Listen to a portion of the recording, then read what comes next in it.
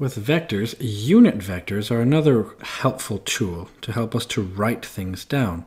Uh, they help us with component form, they help us with how we write vectors, and maybe it's important to just talk about what unit means. Unit means one. So a unit vector is any vector with a length of one unit. That's it. So vector with a length of one unit. Now, I haven't taught you how to, or haven't gone over how to find the length of a vector, but we'll be doing that soon. A vector with a length of one unit. There's lots of ways of defining vectors. This is one of them. So a vector with a length of one unit.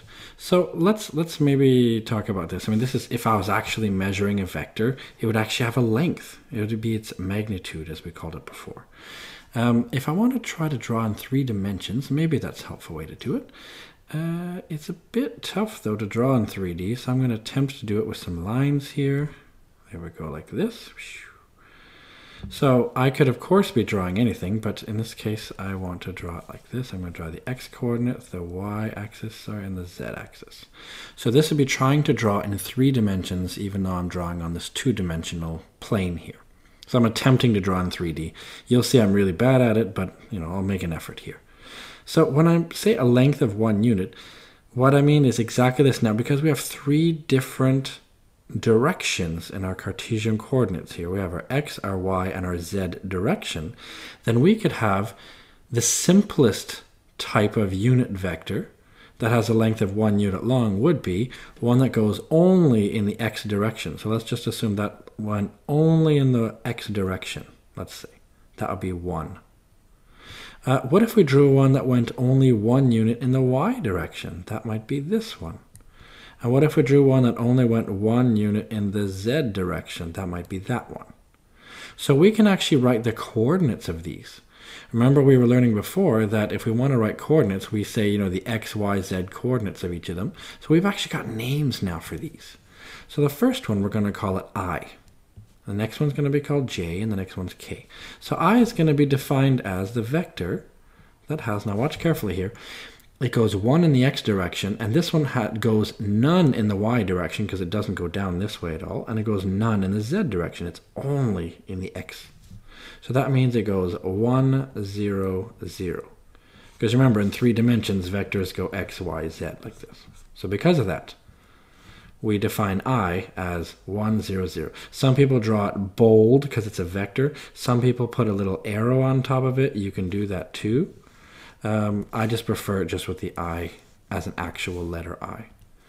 Now we have j is the next one, and that one only goes in the y direction. So because of that, it'll have none in the x direction, 1 in the y direction, and 0 in the z direction.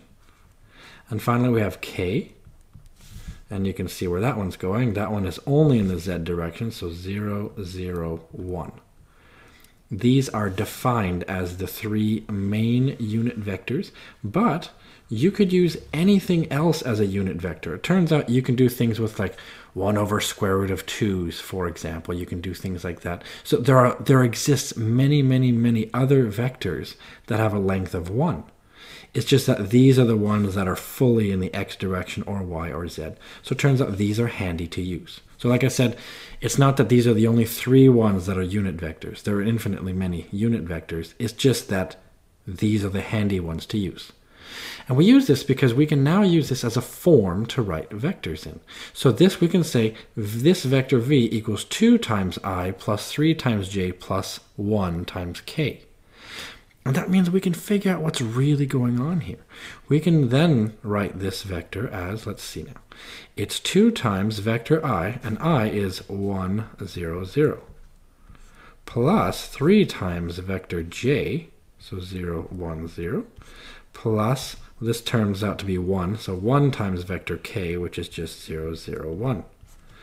Well, that means I can rewrite it as, well, 2 times 1, 0, 0 is just going to be 2 times 1, which is 2, and then 2 times 0, which is 0, and 0, so this still remains 0 here. Plus 3 times all of this, so 3 times 0 is still 0, 3 times 1 is 3, and 3 times 0 is still 0. Plus, this original one, 0, 0, 1. And now all I have to do, even though I haven't formally showed you how to add vectors, I hope you can see that what we can do then is just say, all right, if I want to take this, I take all the x values and add them together. So 2 plus 0 plus 0 is 2. All the y values, in other words, the middle row here, I'm going to add them. 0 plus 3 plus 0 is just 3. And 0 plus 0 plus 1 is just 1. So I can then define this vector v, which is 2 times i plus 3 times j plus 1 times k, is the same thing as saying 2, 3, 1. And that will hopefully make sense because if you see this, if you say 2, 3, 1 in front of the k, that's like taking your numbers 2, 3, 1 and making them into a component form vector. So I've changed from unit vector form into component form. That's all I've done here. Uh, oh, here I've got a really bad joke. I love this meme. So I don't always make vector jokes, but when I do, I JK. That's because JK, you know, just joking or just kidding. But okay, let's keep going. That's maybe too dumb, even for me. So when we talk about more general notation, what we can do now is actually define something. We can actually say something about vectors that might actually be very useful for us. We can actually compare the two different forms. So for example, what I'm going to do now is talk about, um, or at least just write down very quickly, uh, how we can rewrite these. So we can say any vector v this could be any vector. I could name it A or B or Q or whatever, but let's just call it V for vector. If it has notation V1, V2, V3, because it doesn't just have to be you know, X, Y, Z, it could be anything. Let's just say like this. You can also write it as V1 times I plus V2 times J plus V3 times K. This is also the same thing. So this I think is really, really important. Maybe I'll even do this in a special kind of writing if I can. I'll do it in what's called Creative Pen. Yeah, let's do that one. So this is a generic form for a vector. Right? We can write it in lots of different ways. So this right here defines how we can write it.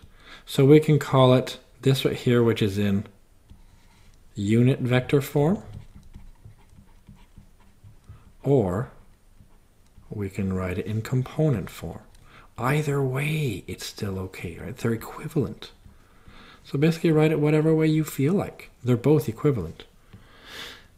Now actually trying to draw vectors in 3D I think is really, really difficult like I showed you before. I'm going to attempt to show you that again just in case. But uh, let's be honest here, computer programs work a lot better than my stupid hands here do. But I'll, I'll try it out anyway. So I'm going to try to draw you here a uh, 3D vector. So here we go. We've got this right here. Oh, just try to move this one. Yeah, like that. Maybe that's better. All right, and I've got my X, my Y, and my Z. So let's say I try to draw this one here. I'm going to try to draw maybe like uh, where these things project. So this right here, 1, this is in the X. Remember this goes X, Y, Z. So 1 in the X direction. So I would project over here 1 in the X direction, somewhere over here. Let's say right here. Uh, and then I would go 1 in the Y direction. So I would also go in the Y direction, 1 over here. So that would sort of project to, I don't know if you can see this, I'll try to draw like little dotted lines here that would sort of be like this. And it would kind of go out to here. If I was trying to draw something here, it would be like a little arrow going out to here. That would be something sort of like the shadow of it from the top view.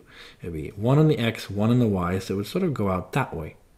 But it says it goes two in the Z, so that means from here you have to go up by two units, however many that is, and that is where it would project. It's really hard to see in 3D here, but that's what we're trying to do. And then I would connect this from here to here, and that would be my vector here. And that's because it would go up by 2 from this bottom corner here. That's sort of how I like to see these things. So it goes sort of that way, sort of that way, sort of that way, and sort of that way. That's sort of how you do this. You can see it sort of projecting again onto this plane over here.